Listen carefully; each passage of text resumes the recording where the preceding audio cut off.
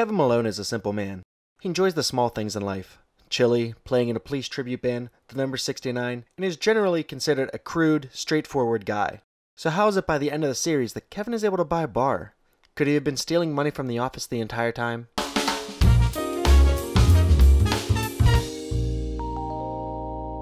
Successfully pulling off embezzlement is something that is incredibly hard to do.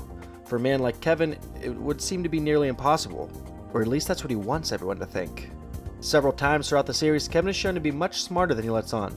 For instance, while Oscar is typically seen as the smartest of the accountants, he directly loses to Kevin in bar trivia.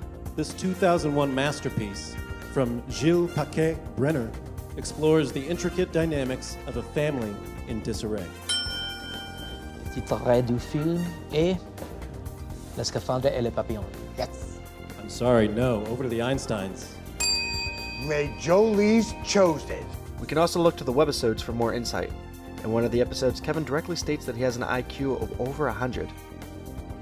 In another webisode, we find that Angela, not Kevin, has made an accounting error that led to the misplacement of several thousand dollars. This all seems to indicate that Kevin isn't exactly the bumbling idiot that he seems to be. We'll also need to discuss motive. Throughout the televised series, Kevin is never really seen hurting for money in any way, but if you look close at the series, you can see a different pattern start to form. But then the Pistons beat the Cavs, and so now I'm returning it all back. Go Pistons. I won the 2002 $2,500 no limit deuce to seven draw tournament at the World Series of Poker in Vegas. So, yeah, I'm pretty good at poker. Kevin is a very avid gambler. He plays poker, bets on sports, and at one point undertakes a significant amount of gambling debt. In fact, there's a whole string of webisodes centered around this. Eventually, Kevin even fails to take a loan on two separate occasions. So if he's unable to take a loan, how is he able to buy a bar in the future? But the most important part we need to discuss is whether or not there are any clear-cut examples of Kevin flat out stealing from the office. And strangely enough, we have more than one. Looking to the Office webisodes again, we see that Kevin has taken nearly $3,000 from the Office petty cash fund and gambled it. $2,800 returned to petty cash. Angela, I forgot to sign in the money. Okay. That's gotta be it. Yeah. Oops. Um, I took that. This amount is well above what is typically considered petty and is actually a felony. Kevin also mentions to Roy how exactly to steal the petty cash, including where Oscar hides the key and where exactly the funds are. You would have to take some from petty cash Well, I don't even know where that is. in Oscar's drawer. Isn't it locked? Well, he keeps the key behind his computer. Ah, Kevin, why are you giving him instructions on how to steal? And another time we see Kevin hinting that he's most likely involved in insider trading. I had Martin explain to me three times what he got arrested for because it sounds an awful lot like what I do here every day.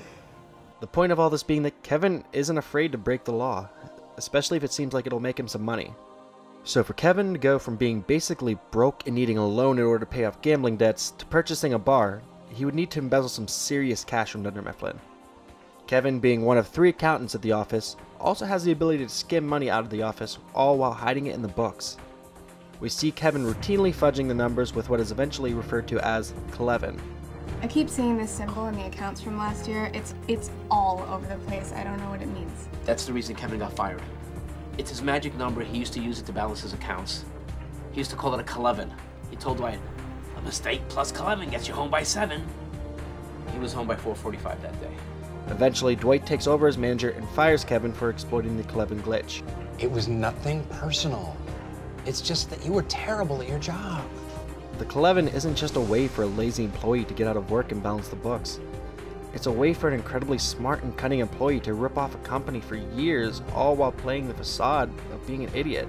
Thanks to the Keleven, Kevin is able to go from needing to take out a loan to cover his gambling debts to owning a functioning bar. Considering that earlier we talked about how Kevin was unable to get a loan on two separate occasions, the only possible way this would have happened would be for Kevin to be stealing money discreetly over his last few years at Dunder Mifflin. Anyways, this has been 10k Bill. Thanks for checking out our videos. Make sure you like and subscribe for all your entertainment related content.